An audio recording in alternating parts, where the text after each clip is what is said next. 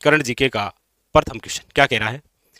कितने पर्यटन स्थलों को इको टूरिज़्म डेस्टिनेशन के रूप में विकसित करने की घोषणा की गई है? यानी कि अभी हाल ही के अंदर राजस्थान के कुल कितने ऐसे पर्यटन स्थल हैं जिनको इको टूरिज़्म डेस्टिनेशन के रूप में विकसित करने की घोषणा की गई है? देखिए, सबसे पहले तो ये घोषणा करता कौन है? देखिए, अभी हाल ही के अंदर वन विभाग द्वारा किस विभाग द्वारा? वन विभाग द्वारा। तो सबसे पहली बात तो यहीं पर स्टैटिक्स प्रकार से क्वेश्चन आ जाता है कि सर, वन विभाग की स्थापना कब हुई है? तो याद रखिएगा, दो बातें। वन विभाग की जो स्थापना है, वो तो हो रखी है आपके 1949 को, और वन विभाग का जो हेडक्वार्टर मुख्यालय है, वो है आपके कहाँ पर? जयपुर।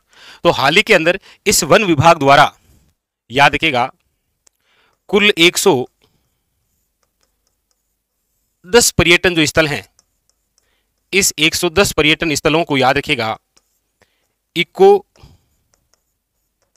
टूरिज़्म याद रखेगा, डेस्टिनेशन के रूप में विकसित किया जाएगा। और ये घोषणा किसकी है? वन विभाग की। टोटल कितने पर्यटन स्थल? याद रखेगा, आंकड़ा 110 ऐसे क्वेश्चन आते हैं एग्ज़ाम में। एक शब्द यहाँ पर आपके सामने आया, इको टूरिज़्म डेस्टिनेशन। इसमें से हमेशा एक क्वेश्चन आता है कि राजस्थान में इको टूरिज़्म जो पॉलिसी है, वो कब आई थी? तो याद रखिएगा, राजस्थान में इको टूरिज़्म जो पॉलिसी है, वो आई आपके जुलाई 2021 में। तो अब इको टूरिज़्म डेस्टिनेशन 110 पर्यटन स्थलों पर विकसित किए जाएँगे, ये घोषणा वन विभाग की है, ठीक है? ऑप्शन नंबर हो जाएगा यहाँ पर A is a correct answer ठीक है? क्लियर चलिए। अगला देखिए, अगला है आपके सामने कि छोटू और मुन्ना गैस सिलेंडर योजना को पायलट प्रोजेक्ट के रूप में कहाँ से शुरू किया गया? यानी कि एक गैस सिलेंडर योजना है। कौन सी? छोटू गैस और मुन्ना गैस। एक योजना। छोटू और मुन्ना जो गैस सिलेंडर योजना है, को पायलट प्रोजेक्ट के रूप में कहाँ से शुरू किया गया है? छोटू गैस और मुन्ना गैस। यानी कि छोटू गैस पाँच के जी भाई पाँच किलो इसके अंदर, और मुन्ना गैस जो है इसके अंदर दो के जी यानी कि अब कुछ ऐसे गैस सिलेंडर आएँगे जो कि श्रमिक लोग हैं, वो अब अपना काम करने के लिए थोड़ा सा अपने घर से काफ़ी दूर जाते हैं तो वो अपने साथ में ले जा सकेंगे ये गैस सिलेंडर। जैसे विद्यार्थी है, अब गाँव से यहाँ आगे शहर पढ़ने के लिए तो वो ये छोटू या फिर मुन्ना गैस सिलेंडर ले सकते हैं। ठीक है? तो नाम भी दिए, देखो, छोटू गैस और मुन्ना गैस। और ये जो योजना है, ये इस योजना का नाम भी यही है। छोटू वे मुन्ना गैस सिलेंडर। अभी तो ये पायलट प्रोजेक्ट के तहत है, और यदि ये सफल हुआ तो फिर ये संपूर्ण राजस्थान के अंदर शुरू हो जाएगा। कौन सा? छोटू वे मुन्ना गैस सिलेंडर। ठीक है? अच्छा ये कहाँ से? ऑप्शन है कोटपुतली बेहरोड जयपुर, शिक्कर या फिर खेरतल तीजारा। याद रखिएगा, छोटू वे मुन्ना जो गैस सिलेंडर है ये आपके पायलट प्रोजेक्ट के तहत जहाँ से शुरू हो रही है, वो स्थान है, याद रखिएगा, भिवाड़ी। कौन सा है? भिवाड़ी। और भिवाड़ी आप सब जानते ही हैं कहाँ पर है? खेरतल तीजारा। यानी कि ऑप्शन नंबर जो है वो है डी इज़ करेक्ट आंसर, याद रखिएगा। ठीक है? भिवाड़ी, खेरतल, तीजारा। और भिवाड़ी के बारे में तो आप तो जानते ही हैं कि भिवाड़ी जो है, ये राजस्थान का नवीन मैनचेस्टर है। राजस्थान का नवीन मैनचेस्टर के रूप में यदि कोई विकसित है तो वो है आपकी भिवाड़ी चलिए फिर, आप भी एक कमेंट करके बताइए कि राजस्थान का मैनचेस्टर किसे कहा जाता है? राजस्थान का मैनचेस्टर राजस्थान का मैनचेस्टर करिए कमेंट तो यहाँ ऑप्शन नंबर हो जाएगा आपके सामने। D is a correct answer याद रखिएगा। ठीक है? खेरतल, तिजारा।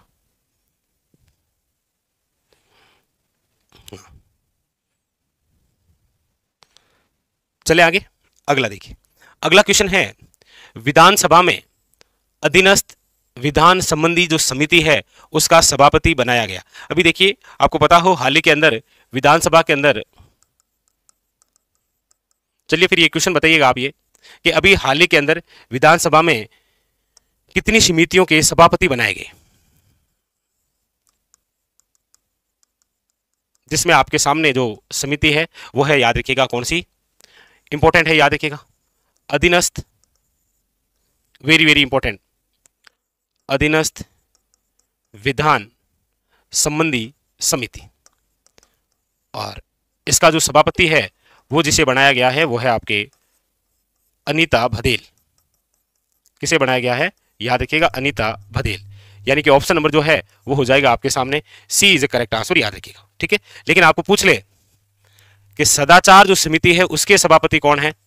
सदाचार समिति। तो याद रखिएगा, हरीश चौधरी। हरीश चौधरी जो वर्तमान के अंदर बायतू से विधायक है। वेरी वेरी इंपॉर्टेंट याद रखिएगा। ठीक है? और पुष्पेंद्र सिंह का आपको पूछे तो याद रखिएगा, विशेषाधिकार जो समिति है, उसके सभापति। तो ये दोनों ही बिंदु बड़े खास हैं। सदाचार समिति के सभापति, विशेषाधिकार समिति के सभापति और अधीनस्थ विधान संबंधी जो समिति है, उसके भी सभापति कौन? याद रखिएगा, अनिता भदेल ठीक है? चलिए। अगला क्वेश्चन देखिए वेरी वेरी इंपॉर्टेंट अगला है, विधानसभा में अल्पसंख्यकों के कल्याण संबंधी समिति का सभापति किसे बनाया गया? ऑप्शन है, केसाराम चौधरी, पब्बाराम विश्नोई दयाराम परमार या हमीर सिंह, आपके भायल। तो याद रखिएगा इंपॉर्टेंट जो अल्पसंख्यक हैं, उनके कल्याण संबंधी जो समिति है, उसका जो अध्यक्ष है, वो जिसे बनाया गया, वो है पब्बा राम विश्नोई याद रखिएगा इंपॉर्टेंट ठीक है? अल्पसंख्यकों के लिए कल्याण संबंधी जो समिति है, इसके जिसे अध्यक्ष बनाया गया, वो है, याद रखिएगा, Pabba Ram Vishnu. Very very important याद रखिएगा. ठीक है? लेकिन पिछड़े वर्ग से संबंधित आपको पूछे तो वह है केसाराम चौधरी। पिछड़े वर्ग से संबंधित जो समिति है, उसके सभापति है आपके, याद रखिएगा Kesaram Chaudhary very very important ठीक है? और पर्यावरण संबंधी पूछे तो याद रखिएगा दयाराम परमार, पर्यावरण संबंधी समिति, ठीक है? तो यहाँ पर जो ऑप्शन है वो हो जाएगा आपके सामने. B is a correct answer देखिए, ये दोनों ही क्वेश्चन बड़े इंपॉर्टेंट है. कौन कौन से?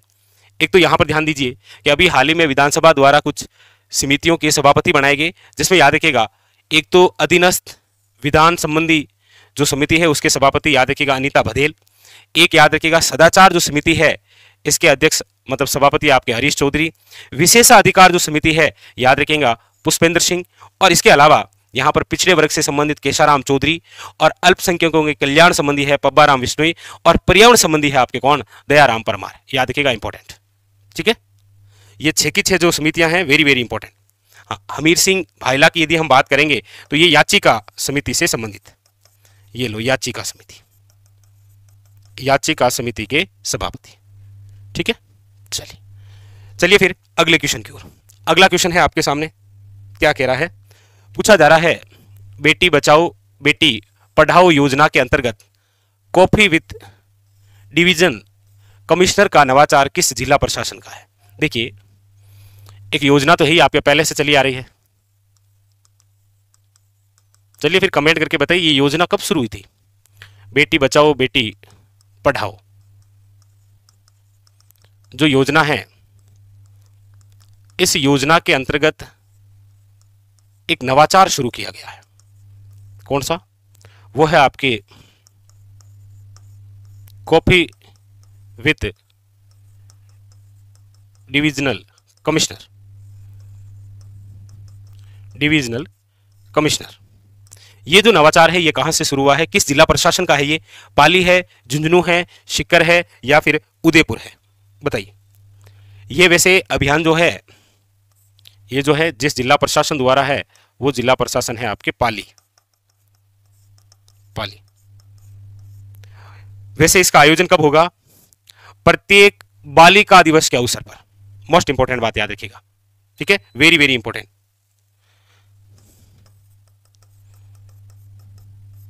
बालिका दिवस पर। प्रतिवर्ष।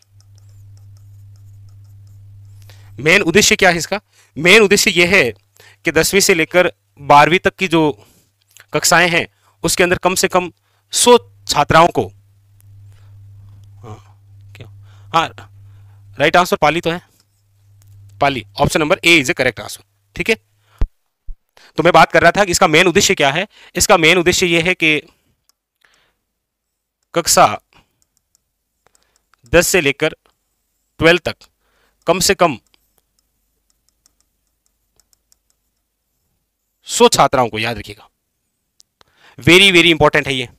कौन सी कक्षा से लेकर कौन सी कक्षा तक याद रखिएगा, ठीक है? छात्राओं को कॉफ़ी टेबल पर चर्चा के लिए, ठीक है? Coffee table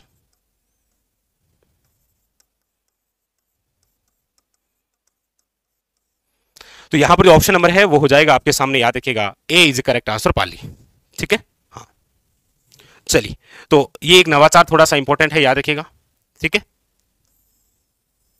Coffee with divisional commissioner Pali ये जो नवीनतम समितियाँ बनी हैं, इनसे रिलेटेड क्वेश्चन बन सकता है। हालाँकि ऐसे क्वेश्चन आरएसएसबी बोर्ड और आरपीसी दोनों ही पूछते हैं, याद रखिएगा, ठीक है? और अगली बात करें तो ये एक थोड़ा सा नवीनतम है पायलट प्रोजेक्ट के रूप में है। तो अच्छा क्वेश्चन बन सकता है, ठीक है? कहाँ से है? भिवाड़ी से। स्थान भी ज़रूरी है। और ये याद रखिएगा, ये क्वेश्चन बनने के सबसे ज़्यादा चांसेज है। इको टूरिज़्म जहाँ नाम आएगा, वहाँ क्वेश्चन बहुत ज़्यादा इंपॉर्टेंट है, ठीक है? तो ये थे आज के हमारे मोस्ट